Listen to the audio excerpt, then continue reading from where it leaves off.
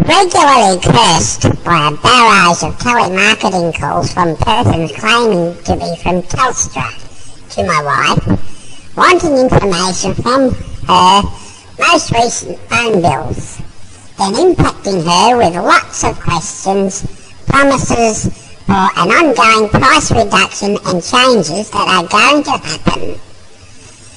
My wife then calls, says stop calls me, I will call my husband.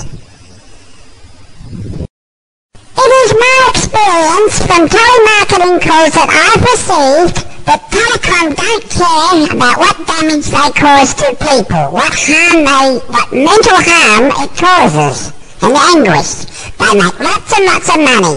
This is what should happen to the telemarketers. You can ring anyone you want to advise them of your proposal that you have created.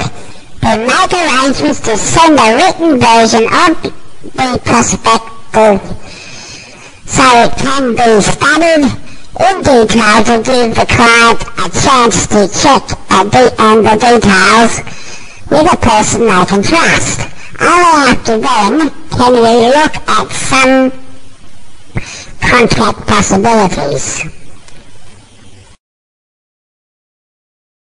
After the consultant has spoken to you about the proposal, you are then put over to the supervisor who then confirms you understood what you were told. They then use your license number, driver's license number, pension card number, Medicare card number as a signature to seal a contract contract.